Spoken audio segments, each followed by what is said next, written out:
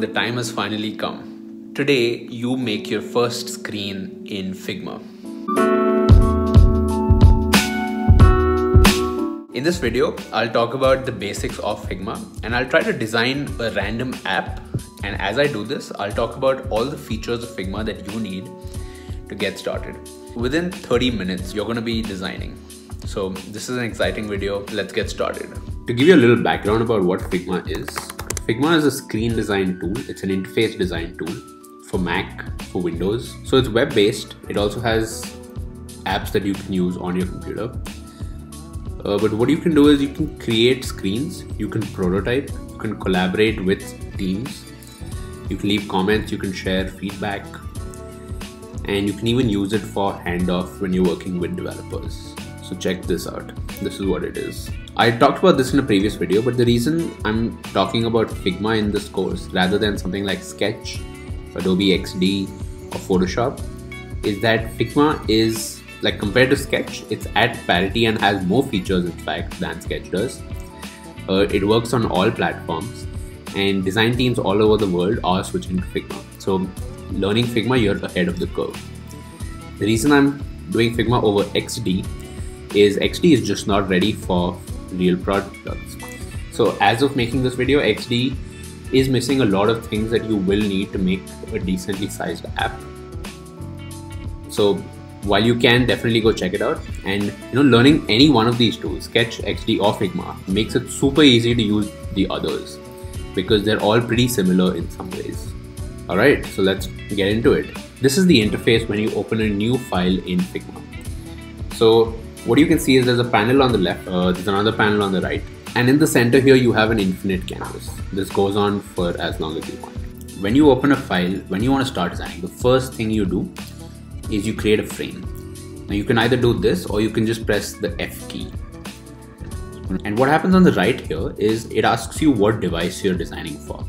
So you've got phones, you've got tablets, desktop, Apple Watch, paper if you're making something for print, and it even has a few templates for social media.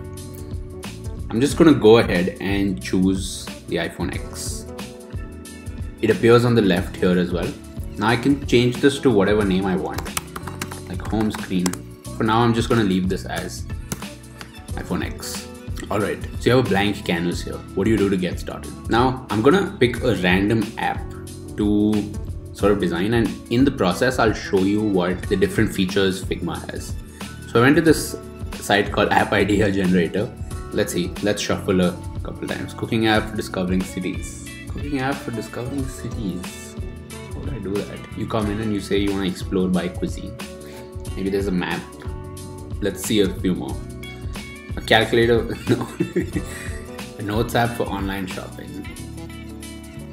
Calculator for recording meetings yeah, this could work, but not a calculator, but just a app to record meetings. Okay, I think we should do this. Uh, let's give this a name. What are we gonna call this app? An app for recording meetings. What I just did here is I pressed T, and T is the type tool. It's up here. You can just click anywhere on the canvas and you can start typing. Just gonna do that again. What should we call this? Meeting. Meet. Meeto of weird. This, if you notice, is happening outside the artboard. These are just some notes I'm taking to get started. So, the first screen that I want to design is a splash screen. This is when I first open the app, it shows me the logo and it says Meeto. So maybe I'll call this one splash screen. Now, what I normally do is I name my artboards and I usually put a number there so it sort of shows the flow as well. So let's just lay out what our screens are going to be. And if you watched my previous video on design process, this is not how it works. This is not, you just don't immediately start in the tool. But the purpose of this video is just to explain Figma, so I'm going to do it this way. Typically, you would start with some research, find other apps that do something similar. You would start with information architecture, laying out what the app should feel like. Then you would do wireframing, you would start drawing it on paper, and only then would you come to the tool. Uh, but I'm just going to do it here for the purpose of this video. So I have a splash screen uh, let's skip logins for this. Second screen can be a my meetings. This can be maybe a list of all the meetings I've created. and this should probably have a button which lets you create a new meeting. So I think let's just start with this. You click an artboard and now you're ready. And when you do this, you notice this right panel here changes. This right panel in Figma is where all of the editing happens. This is what you will be using to create more stuff. Let's say I just wanted to create something really quick right now. What I would do is I'd go here, use the rectangle tool, which is R. Let's say I want to draw an app bar on top here. Uh, what size should this be? I'm just going to keep it random for now, but I'll talk about how you figure things like that out. Now, as I created that, you notice there's a new layer that's been created. So this panel on the left is actually the layers panel. It holds all your frames and then within each frame, it shows you what layers you've made. So let's say I want to now add some text here, Meeto. You see as I move this, this sort of shows me these red lines. Uh, these are alignment lines that Figma uses to show you where you're placing something. This can be really useful when you're moving things around. So now I have a, maybe a list item here for meeting. So I'm gonna, gonna maybe put something like that. Write some text. Design review Monday. Let's say this is the name of the meeting. And you know, at this point you might be wondering what fuck is this guy doing? Like this looks like shit. But trust me, I'm just I'm just laying stuff out so I know what to design once I get started. This was taken yesterday, recorded yesterday, and you see this thing I did here. What I did was duplicated this layer. You either hold this down, press the option or alt key and just drag it out. That duplicates it. Or you can do command D as well. That duplicates it as well. Um, don't worry if you're thinking about what the shortcuts are. Just right here, you can see all the shortcuts that you will need. So it's all good. Um, no need to feel intimidated right now. Alright, so design review Monday. Maybe I recorded this yesterday, and maybe it was a 24 minute meeting. 2412. Okay, and let's say this is my list type. So now what I'm gonna do is you see I'm gonna select these layers. As I do that, the relevant layers get selected on left. And I'm gonna do a command G. What command G does is it creates a group. And this group contains the layers that I just selected. Now what I'm gonna do is I'm gonna duplicate this and create two more, right? Here we have this app. It's uh, looking pretty shit, but um, hopefully you got some idea of Figma now. And I'm gonna just remove the splash screen for now. Let's just do this screen. Now, you want to add a status bar to the top. If you've seen an iPhone X, it has a status bar. How do you how do you do that? You're not gonna recreate it. So the trick to that is you have templates that are used um, whether you're designing for Android or you're designing for iOS. And these templates contain the standard elements that you might need to make an app. Alright. So I've opened this up. These screens here are fully editable. Like this is a massive, massive Figma file. So you can see you have all of these here. and now there's no need to be intimidated by this. This is a huge file. Um, and it's organized really, really well. So you might have some difficulty sort of understanding it. But I would suggest going into this and trying to break down what's happening. Now, to give you a little story, the way I got started in design, I would take apps. Actually, I started with websites. So I would take a website, I would take a screenshot of it, and then I would try recreating it in Photoshop. And that's what we used back then. So what I'm now going to do is, you just saw what I did. Uh, I went into this here I selected this frame. I did a command C, command V, just copy pasted this into my file. Now I'm going to use this as reference. So one of the first things I need is this status bar on the top. And I'm just to copy and paste it onto my own artboard. Now you see it pasted somewhere in the center. Now if I want to take it to the top, I can either just drag it like this or another thing I can do is I can use these alignment options on the top right. This is what it does. So clicking this left aligns it to the left of your frame. This is center, this is right, and this is top. Now, what I'm going to do is this height. I don't really know what it should be, but I'm just to copy what this is. This is a height of 120.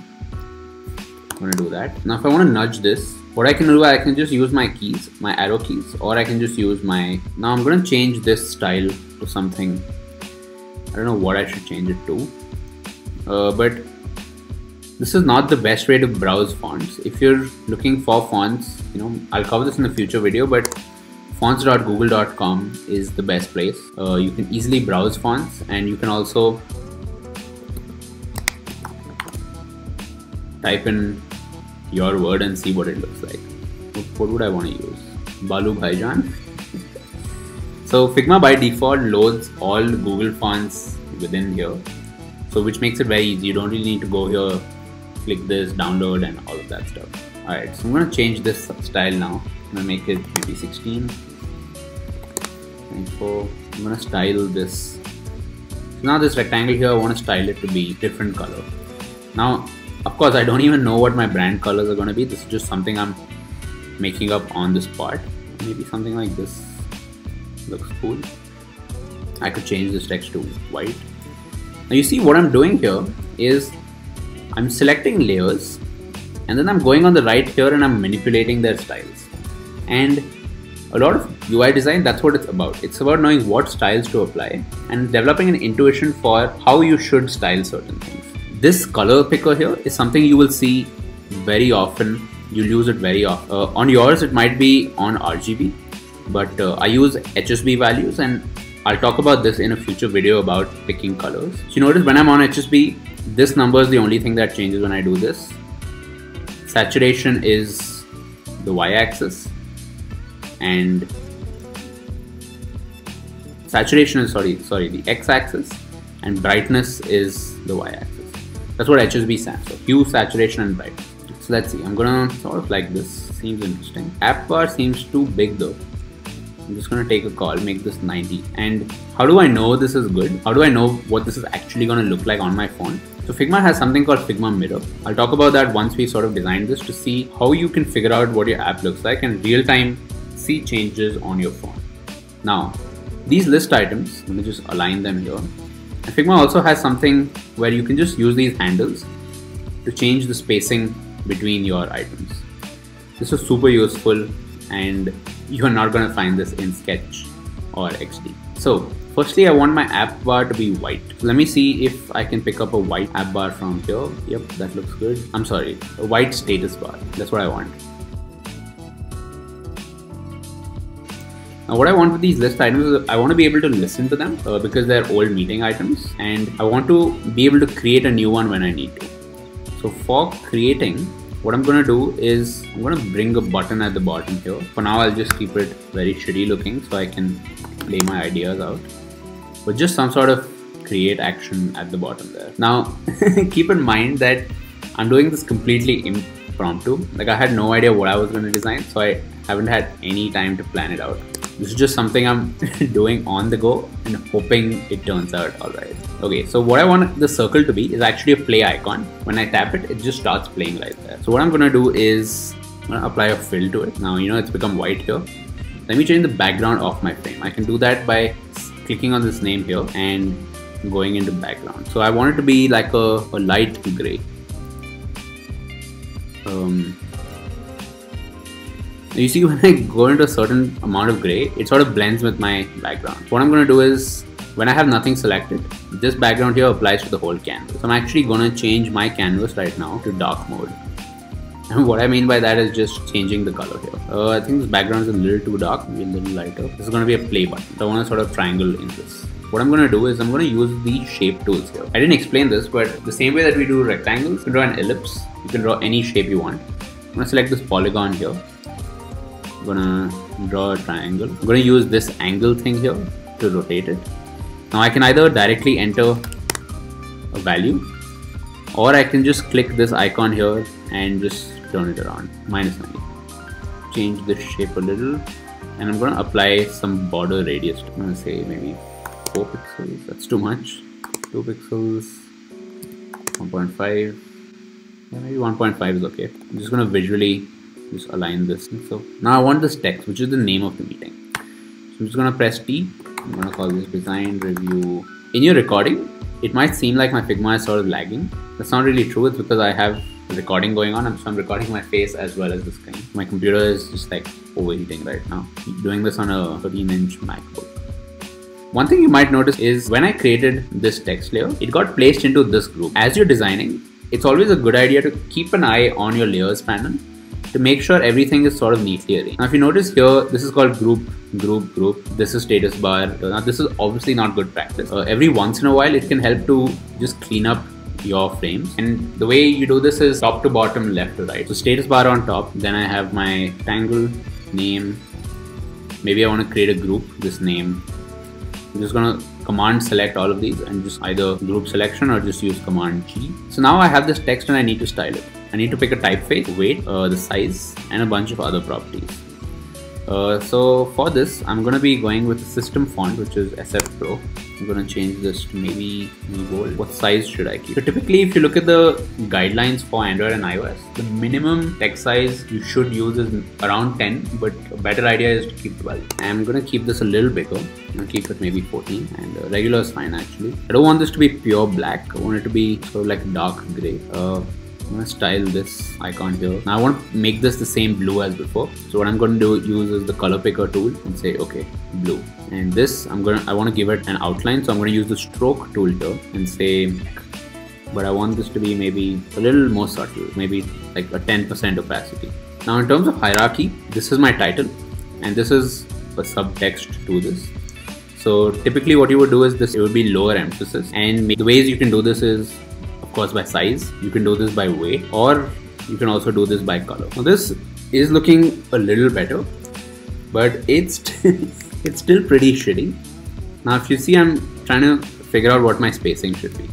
So normally to keep consistency, it's a good idea to keep your spacing a multiple of a single number. So I'm going to keep everything a multiple of 8. Um, changing the spacing, center aligning it. From the edge, I want to keep this 16. Now I'm just going to delete our old versions that we created here. Now I want to duplicate this and let's say I created a group turn, I accidentally aligned it. I just wasn't paying attention maybe I just put it like this. And I want to clean these up. The way I would do that is select these. I'm going to use this thing that shows up. And when I do that, equi-aligns all of this. Let's style this bottom thing here right now. I'm going to select the ellipse. I want this to not be blue. I want this to be something that stands out with blue. I'm going to use something closer to orange. I'm going to use a complementary color. What complementary colors are, I'm going to cover it in the future. But just to give you some basic idea, when you look at a color wheel, you have these colors sort of laid out. Uh, complementary colors are those that are opposites to each other and they usually go well together. With blue, I would want something in this range to be complementary to it. I think this looks decent. I'm going to take this plus and delete it actually.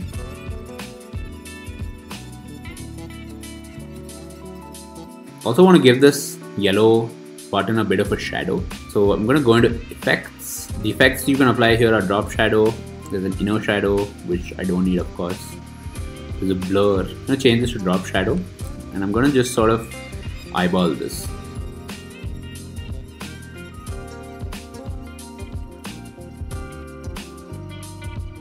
I'm going to talk about this in the lighting chapter, but I just want the shadow to be under the button. So assuming that the light source is on top. X, you want to keep it to 0, maybe 4. Reduce the blur a little and make it a lighter color. One thing you might have sort of realized as you watch me do this is I do a lot of just like guesswork, right? That's what it might seem like. So you might see me going in and changing something and then changing it back and it sort of feels indecisive.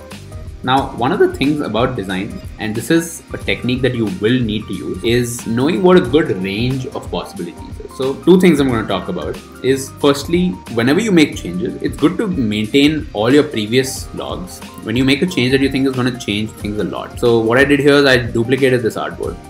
And now I'm going to try something which is, I'm going to take just this item, right? I'm going to say, how big can this be? 18. Is that too big? I think it looks okay. Like I could have actually gone with 18. I'm gonna keep that distance 14, not bad. Like this looks pretty decent as well. In fact, I would say this looks kind of better than the previous one. Previous one might be hard to read. What I'm gonna do is I'm gonna download the Figma Mirror app. I'm gonna mirror this design on my phone to see what it looks like. Alright, this is what it looks like. And I don't think this is too bad. Like it looks pretty decent. And this is the small size and I think the small size is too small. As a designer, you need to experiment with what are the, different possibilities that you can use. So 18 is okay, but what about 24? Right, this is too big. Like let's say this was a longer title, this would overflow into two lines. What about 20? Maybe this works. Maybe this gets too long once there's once this goes into two lines. What about something smaller? What about what about size 14? Now this is too small. So this way, every single thing that you do, every single item, try a lot of different styles and try to understand is this an acceptable style? Does this look good or does this look bad? Eventually you'll start developing an intuition for a range of values. So you you'll be like typically for titles somewhere around 16 is good. Or when using colors something like this is good. When using shadows this is a good practice. And with this you develop you start developing your own rules so that the next time you do it it becomes much easier for you to do it because you already remember what worked last time. One thing I'm gonna do is I'm gonna go in here and I'm also gonna create a state for when I start playing it. So like a pause button. I'm gonna hide the triangle here. So instead of deleting it, I'm just gonna hide the layer in case I need to bring it back later. This is probably too tall, make this shorter. Hmm. The way I'm bringing these rulers up is I'm pressing down the Alt key. What I'm also gonna do is when it's a selected state, I'm gonna change this to blue and I'm gonna change this to a playback timer. Probably not the best way to do it, but uh, just going for something quick here. And maybe when I do this, the whole item gets selected. So maybe a sort of area at the back. I'm gonna move this layer in the right position. I'm gonna make sure holding down the Alt key to see the spacing 7 and 8 and I'm gonna change this to be very subtle. So just like that. And I wanna see what this looks like on my phone. So I'm gonna mirror this. Another cool effect that I think might be interesting is I'm gonna select this. I'm gonna add a ripple effect. When I'm playing this, the circle has a ripple behind it that sort of pulsates and shows me what's playing. So I'm gonna just create a circle. I'm gonna move it into the right group. Now this is super important because your files can become a mess if you are not conscious of where things are being placed. So what I'm gonna do is I'm just gonna create one of these.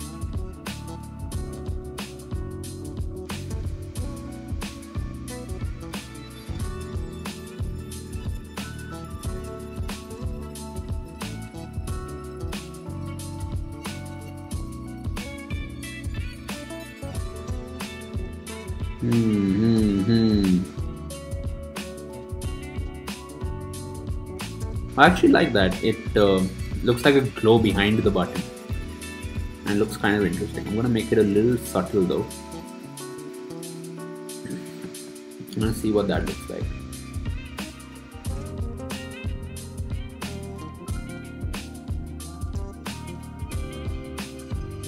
Those are the basics of Figma. With this knowledge, you can go and get started with actually designing an app. One of the things that helped me practice was I would take screenshots. So let's say I really like Pinterest's design and then I want to take a screenshot of this and see what makes it work. What I would actually do, I would try to recreate this design. Turn down the opacity of this to like 10%. You know, back in school, you would trace stuff you would sort of find something and you would try to copy it by tracing. That's a technique that works with design as well. And it's a great way to practice. So find an app that you like, just try recreating it in Figma. I can see there's a search bar here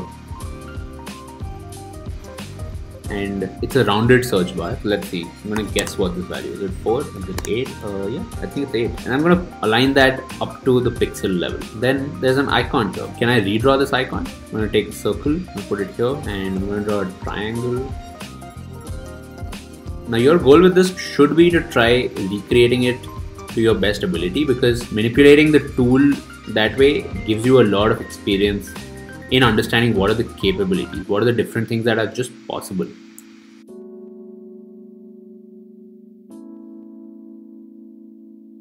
In terms of icons, you can of course draw custom icons, but I would say to start off with, just use icon sets and you can of course Google them or a lot of icons are included in the Google Material Design Kit.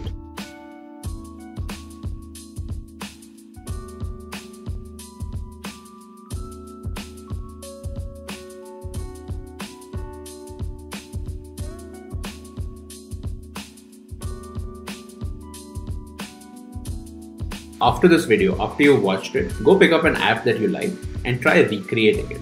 And once you have done this with a few apps and are comfortable doing it, try applying this to a hypothetical app. So go to appideagenerator.com, find something that seems interesting, and try designing a screen for it. Now, I'm going to share the link to this Figma file in the comments if you actually want to go in and check it out. And if you want feedback on this, feel free to join the WhatsApp group for this course there's a link in the description where you can fill out the form and I'll add you to it. You can discuss with other designers, you can share screenshots if, you, if you're feeling proud of the work you've done.